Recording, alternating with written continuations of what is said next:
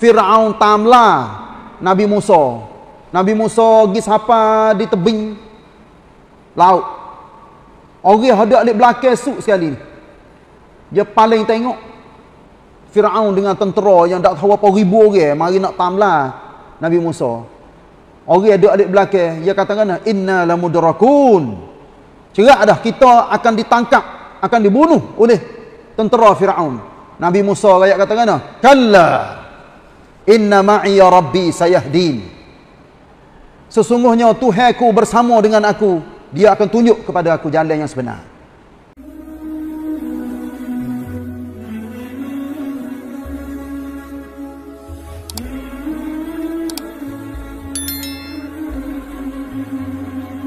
أعوذ بالله من الشيطان الرجيم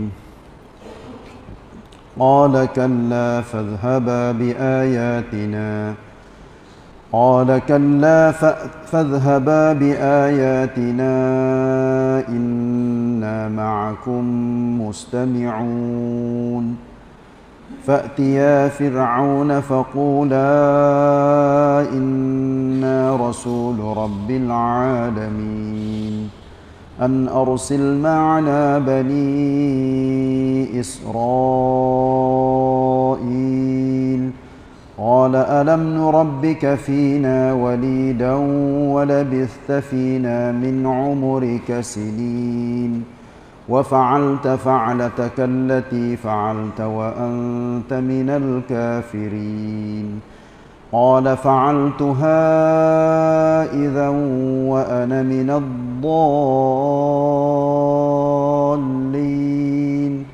ففررت منكم لما خفتكم فوهب لي ربي حكما وجعلني من المرسلين. وتلك نعمة تمنها علي أن عبدت بني إسرائيل.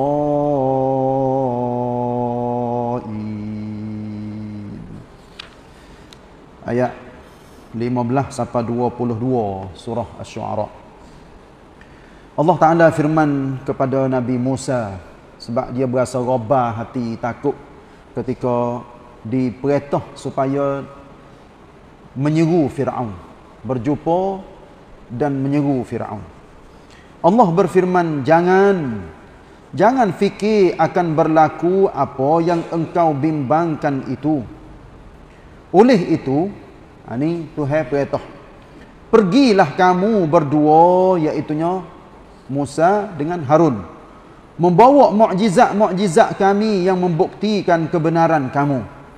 Sesungguhnya kami ada bersama-sama kamu mendengar. Ni perkataan yang Allah Taala sebut ma'a. Ma'a ni banyak di dalam Quran. Terutamanya kisah-kisah yang berkaitan dengan nabi-nabi, rasul-rasul dan orang mukmin. Ma'a artinya bersama. Wallahu alam. Hak ni kita serah kepada Allah. Yang Allah Taala katanya inna ma'akum. Sesungguhnya kami bersama dengan kamu. Bersama di sini ada setengah-setengah ulama royak katanya bersama bukan arti bersama zat maknanya bukan tuatun Allah Ta'ala tu duduk sekali dengan tuatun Nabi, Rasul. Tapi Allah Ta'ala perhati, tengok, kontrol. Kuap dule berihan. Setengah-setengah ulama yang katanya ambil Allah Ta'ala kata macam mana, maka macam tu. Wallahu'alam tapi hak pentingnya apabila perintah Allah ia rayak kepada siapa-siapa maka macam itulah kita yakin bahawa Allah bersama dengan orang-orang yang dia apa ni dia perintah ataupun dia suruh dan orang-orang yang jujur, orang-orang baik. Saya bisa mudah-mudah. Saat ini ayat yang ada di dalam uh, ayat, ayat yang 15. Inna ma'akum mustami'un. Kami bersama dengan engkau, dengan kamu berdua, he Musa dengan Harun, sedang-sedang mendengar. Cuba kita perhati dah, tengok dalam pimpinan Ar-Rahman 1203. yakni tetap akan menolong kamu dan sedia mendengar serta mengetahui akan apa yang dilakukan oleh kaum yang ingkar itu. Dia terjemuh ni jadi kelang-kelang tak say i yang kau tu tak say i yang kau ni. Cuba kita perhati ayat lain. Ayat akhir di dalam suratul nahli 128 inna allaha ma'al ladzina taqaw wal ladzina hum muhsinun Sesungguhnya Allah bersama dengan orang-orang yang bertakwa. Kita faham lagi mana? Sesungguhnya Allah bersama dengan orang-orang yang bertakwa dan orang yang selalunya buat kebaikan. Allah alam lah. Kita tak sewa jadi panjang sangat perbicengi. Bersama di sini, iaitunya Allah Ta'ala kuap kum dule, perhati, tengok, jaga dan sebagainya. Kalaulah Allah Ta'ala bersama dengan orang yang bertakwa belakang tuatun Allah Ta'ala. Tu hai apa ekor eh? Kalau kita wak-wak soalan, apa tu hai apa ekor? Tu hai sama dengan Allah, dengan mamak, dengan tijuh, dengan dewi, dengan Yusuf, dengan gotu dia ni, masya-Allah sebab itulah. Ambil secara umumnya Allah Ta'ala raya dia bersama dengan orang-orang yang bertakwa berarti dia jaga kawal orang itu jadi orang baik dan sebagainya. Gitu. Kita akan tengok sikit lagi. Kisah yang ada di dalam surat syu'ara ni juga ketika Fir'aun tamla Nabi Musa. Nabi Musa pergi sapa di tebing laut orang ada di belakang suk sekali dia paling tengok Fir'aun dengan tentera yang tak tahu apa ribu orang mari nak tamlah Nabi Musa. Orang ada adik belakang, dia katakan inna lamudrakun. Cerak dah kita akan ditangkap, akan dibunuh oleh tentera Firaun. Nabi Musa rakyat katakan kalla inna ma'i ya rabbi sayahdin. Sesungguhnya Tuhanku bersama dengan aku, dia akan tunjuk kepada aku jalan yang sebenar. Gapo maksudnya? Inna ma'iya rabbi sayahdin. Sesungguhnya Allah, Tuhanku bersama dengan aku. Maksud macam mana? Tuatun Allah Ta'ala duduk sekali dengan Nabi Musa ke? Ke macam mana? Memang tak mungkin sama sekali Allah nak pergi prakup. Nabi Musa duduk sekali situ sini situ sini. Ni ulama-ulama dia ambil ayat-ayat pasal Ma'a tu. Ma'a artinya bersama ataupun berserta. Tak siu jadi kita duk gi gambar dalam otak. Dalam fikiran kita katanya Allah Ta'ala duk prakop, prakop, prakop, prakop. Ya tu dia ni. Tapi Allah Ta'ala dia kuapkum dule dan dia beri hancatkan.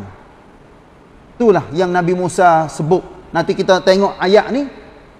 Beberapa ayat lagi. Nak boleh habisnya kisah Fir'aun yang nak mati di dalam laut tu.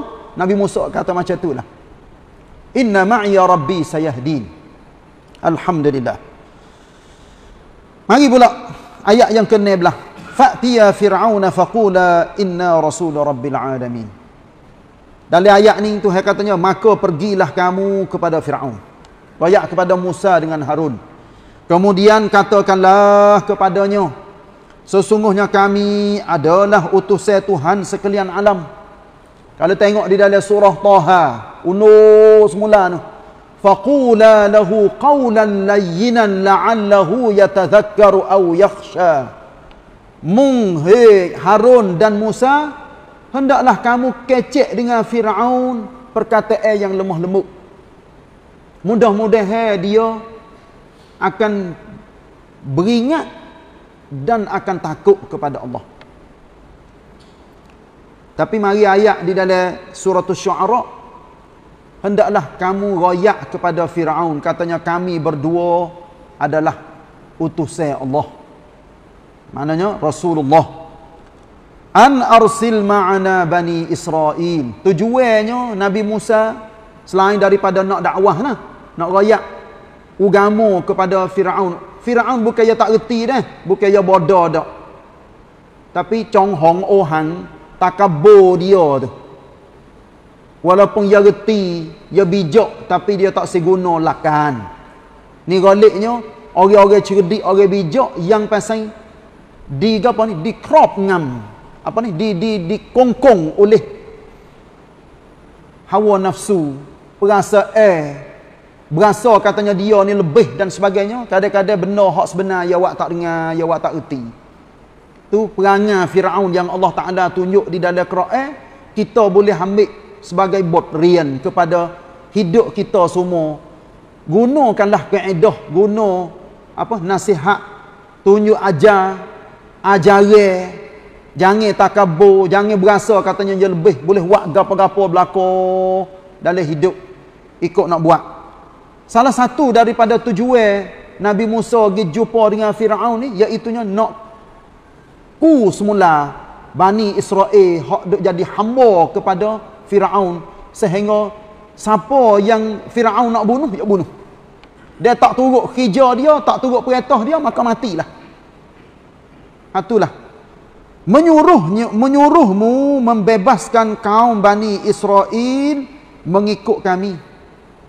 Ha tu suruh ke apa? Bani Israel turut turut Nabi Musa. Plot-plot semula puak-puak Bani Israel hak duduk di bawah kengkaman Fir'aun yang menjadi gergasi dunia pada waktu itu. Masya Allah. Nah, Fir'aun pun kecek dengan Nabi Musa. Ya, saya tak perhati dalam Quran ni tak? Fir'aun ni dia tak kecek dengan Nabi Harun. Maknanya kata-kata dia ni dia tak tuju sangat kepada Nabi Harun. Sebab apa? Sebab Nabi Musa ni anak pera Fir'aun. Tapi Nabi Harun mereka kong dengan Raja Wang Fir'aun. Nabi Harun dia besar ni dia besar dalam luar istana. Tapi Nabi Musa dia besar dalam istana. Dia dipelihara, dibesar, diajar dan sebagainya. Nabi Musa ni perasaan pakan dia, dia boleh masa dia duduk di dalam istana banyak. Istana Fir'aun. Fir'aun bertanya, Alam nurabbika fina walida? Firaun menjawab, "Bukankah kami telah memeliharamu dalam kalangan kami semasa engkau budak kecil?" Kalau kita kecek bahasa kampung ya, "Hei Musa, dulu ni mung bukan mu, bukan mu besar dalam istana kau. Aku duk pera mu. Eh, mung besar pak mari nak ajar aku." Ha, lagu tu. Mung budak aku, mung anak pera aku. Nak lawan aku kau. Ha tu gitu. Firaun kecek seolah-olah katanya mung tak sadut cerdik lebih pada aku lah hai Musa aku pera mung ha tu gitulah supaya orang tua hak pasal tu tak saya orang muda pak tak saya tak tak tak saya anak dia berasa katanya minta maaf dah tak ada tak ada tuju kepada siapa-siapa dia berasa katanya dia lebih umur lebih pengalaman banyak ha tu Lepas tu dulu, aku duk pegang mung. Lata-lata lah ni mau mari nak ajar aku. Eh, ha, tu jalan dah tu. Wah, wah, pasal tak seterima. Hak orang-orang baru-baru ataupun orang-orang muda. Nampak katanya boleh ngajar, boleh royak apa. Dia berasa katanya tak seterima. Lepas tu, hak ni saya baca, tengok dalam cit witia lah. Cit witia ni memang lagu tu sungguh. Orang dia, orang yang umur banyak. Dia berasa apa eh? Kalau dia bahasa sia panggil klam. Berasa katanya keramat tu. Duk pada diri dia. Terutamanya orang-orang yang biasa ada tamneng dulu-dulu. Belum pada ni ya. Oh dia boleh kata tamneng tinggi. Cue siang. Lata-lata lah ni tak ada dah dia. Cue siang tak ada dah. Tamneng pun tak ada. Jadi orang tamada biasa-biasa. Orang pasal ni kalau dia turut nafsu, turut perasaan. Orang-orang tamada mai hidup rakyat ke dia, dia tak ingat. Sebab dia duk berasa katanya ถึงแม้ไม่มีตำแหน่ง learning ไม่มีชื่อเสียง tapi kuaka-kuaka kelang dia tu memang duk ada pada diri dia dia berasa katanya dia boleh klum apa ni boleh krong go to krong gani sebab tu kita semua ni saya nak ayat mudah-mudah katanya kita jadi orang riap ngai ada tamneng tak ada tamneng tak ada cerita siang, tak ada duit, tak ada apa pun jadi riap ngai belaka tawaduk rendah diri belaka pakak-pakak dengar nasihat, pakak dengar ajaran. Walaupun kita duk ngajar orang, ngajar ngajar ngajar, tapi bangkrang-bangkrau kena duduk bawah ketik kena dengar orang duk royak. Kena ambil ketik wah daripada orang. Bukan katanya kita cerdik, kita pandai ni.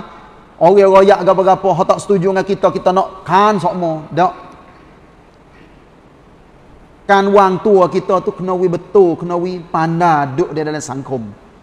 Jangan siapa ke Supa dengan Fir'aun kecek dengan Nabi Musa bermaknanya dia tak sedengar wah Nabi Musa.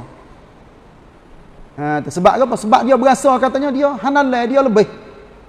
Mula-mula ni ni masuk peraturan yang Nabi Musa atau yang Fir'aun mula suntana dengan Nabi Musa. Ada banyak ayat lagi lepas pada ni. Kecek berhubungnya dengan Tuhan. Tuhan mung siapa Musa?